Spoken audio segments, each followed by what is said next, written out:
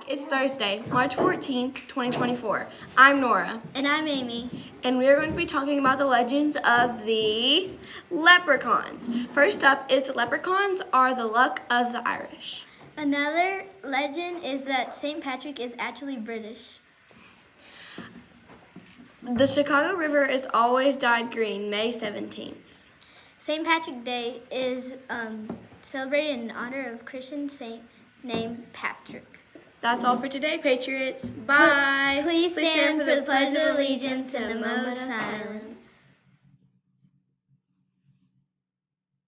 I pledge allegiance to the flag of the United States of America and to the republic for which it stands, one nation, under God, indivisible, with liberty and justice for all.